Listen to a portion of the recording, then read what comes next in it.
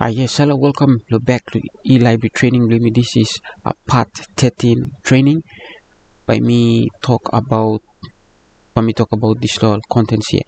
This law relating to law universities. If you watching this line, if you plan go all these law uh, universities, then you need to meet him. Some like kind requirements. Law lo logon sa lo university. First one university of papua new select him sila you come in and every information relating to university of papua new guinea you can go lo about section doll schools uh, open college research administrations or you can go looking news blog now you can uh, read through inside UPNG. Next, we have the University of Goroka you can go look him some information I'm got all different things. You can go select him about us or you can go through read through the the divisions or all this all information relating to uh, University of Goroka next we have is the University of Divine Word.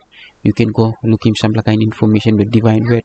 And stop inside here relating to all forms all stop inside and other information about divine word and also stop inside there which you can later go and look in inside. Next we have the university of uh, technology.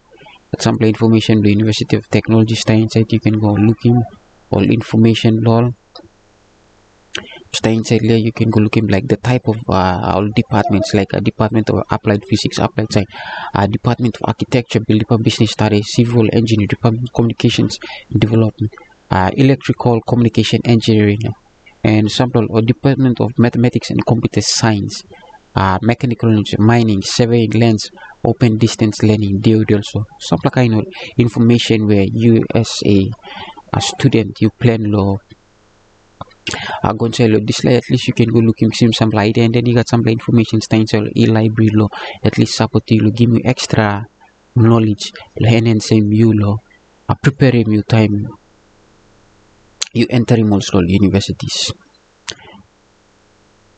That ends the training of part 13. Nabami look back next training. Goodbye.